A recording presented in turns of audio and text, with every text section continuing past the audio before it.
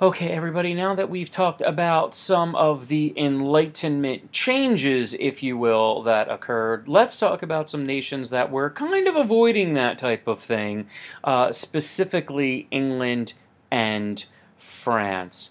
Okay, when last we left England, um, they had a specific level of unity under James the First okay, in joining together England and Scotland, and we discussed that. And then some things went okay, but some things went not so okay, and you ended up getting. Um, the Civil War.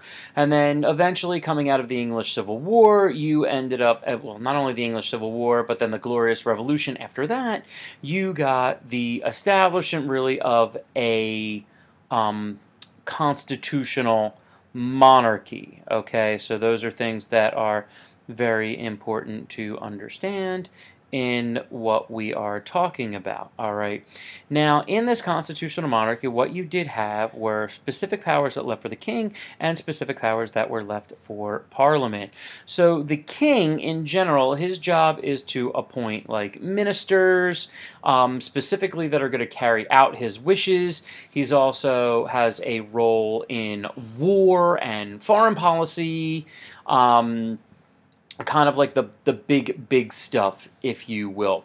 Whereas Parliament is gaining power at this point, okay? Parliament is gaining, or they have gained the power. They make a lot of the laws, they levy taxes, so a lot of the stuff that the king wants to do, he can't necessarily do because it requires the money from them. And then uh, their job is to also pass a budget. Now, the thing is about Parliament, though, and this is important to understand, it is dominated by the landed aristocracy, and actually, and they make up the House of Lords, but even in the House of Commons, um, most of those people are smaller landowners, and that is going to definitely cause issues, I guess you could say, as we move forward, because you're still not looking at complete rights for people. Um, and when we go to as I as I go down here, the rights of officials and who is in or the rights and who is in charge. What I mean by that is a couple th different things. Like one, individual people they do have right of expression, and you have jury trials and still like that. But voting was still a little bit sketchy. They still had property requirements to vote, which not many people had. There really wasn't anything in the way for women and Parliament and the King could often have some issues because there was this kind of gray area over who's really going to, to run things. Now, during the 1700s, we are going to get some changes because Queen Anne, who was the last of the Stuart dynasty after James, um, is going to die without an heir.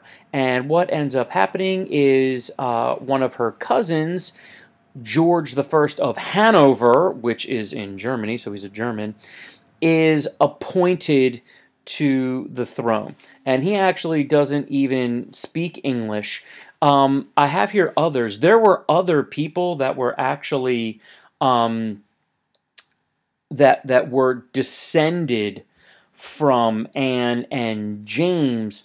The problem is is they were actually Catholics and by their laws, Catholics cannot hold the throne, so it goes to a German guy over here.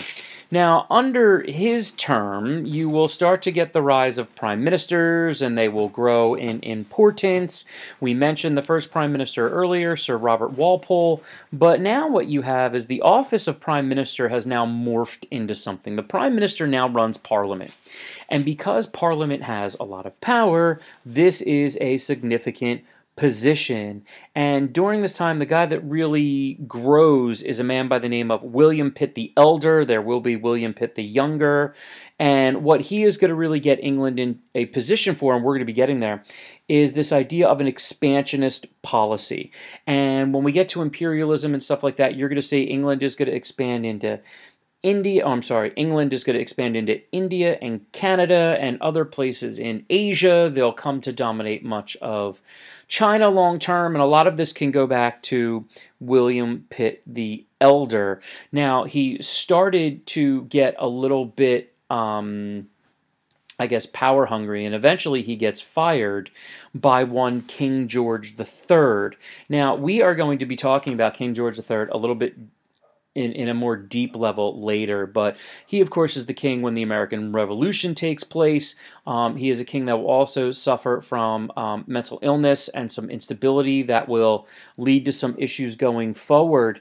And um, also, under him, under George III, they will officially bring Northern Ireland in, and that's where we get the title of United Kingdom. Even though Northern Ireland was pretty much conquered by, uh, goes all the way back to Oliver Cromwell, in this case, you now have the formation of what is known as the United Kingdom, which, of course, is Britain, Scotland, and Northern Ireland, and that still holds for today. But with George, again, you're going to see this back and forth going with the prime ministers and it's uh, the king in power, and we're starting to see threats to the power of the king. But a lot of these other Enlightenment ideals aren't necessarily like going crazy here in the government. Now, France, however, really's got a whole lot of of nothing as far as expansion is involved. Um, they, of course, have a lot of debt from all those wars of Louis the Fourteenth um, the grandson of Louis XIV, actually his great grandson, I apologize, was the heir to the throne. And so a guy's going to step in by the name of Cardinal Fleury. And for a little while, things are going to be okay because under Cardinal Fleury, they're able to. Um, stabilize kind of the government a little bit. He starts to work on their debt. Um, this eventually is leading to King Louis XV, but unfortunately, there's still massive oppression. You can't speak out. You can't really do anything without permission of the crown. On the bottom right there, I have a picture of the Bastille prison. You had lots of political prisoners, polit prisoners of conscience, what we say. A prisoner of conscience is someone who like openly speaks out against somebody and then as a result can get sent to jail. So even though France is going to get stabilized a little bit under the, really you can call it the reign or term of Cardinal Fleury, they still have these kind of outside issues. And that really is going to start to come to to fruition again with uh, Louis XV. Louis XV himself is kind of weak and a little bit of a loner, um, and he is going to cause a lot of debt issues, as I'm going to explain. One of those being will being will one of those reasons being, man, sorry, I'm a, mess today, um, the involvement of France in the Seven Years' War, and we're going to talk about that very specifically in a separate video. But to go along with that, so France is, the short of it is that France is going to lose big time in the Seven Year War. They're going to lose a lot of land and control of areas, particularly they'll lose to the British out in Canada. But he is going to just step up his living like he is going to, as I say, live large. He is going to um, pamper himself. He's going to flaunt his wealth. And the influence of this is, is really crucial as well because he kind of lets these ministers come in and just convince him like well this is a good idea so you should do this or this is a good idea so you should do that and you're starting to get some problems that will be developing for certain groups because they don't get a lot of opportunities to uh, the the commoners aren't going to get a lot of opportunities here. So they got a rich king. He's living in Versailles. He's doing whatever they want. They're all getting sent to these wars all over the place. France is losing these wars, and they are now going to get themselves in a little bit of trouble. Okay, so that's kind of to, you know some information about two of the big dogs that are being active, I guess, at this point. Um, a little bit different than uh, some other things, but some other nations. But these are some things that we need to, to address as we move forward. Okay, so England and France. England, you know, did some reforms prior to this time, and then they kind of bail out of those types of things, and then later on from that, they're going and and then France is going to have some major problems because they just don't want to give anybody any rights, and that's not going to be good. So. Um, make sure you get comments and questions, and we'll talk about a lot of different things, and and we'll uh, we'll get to it in class. See you guys soon.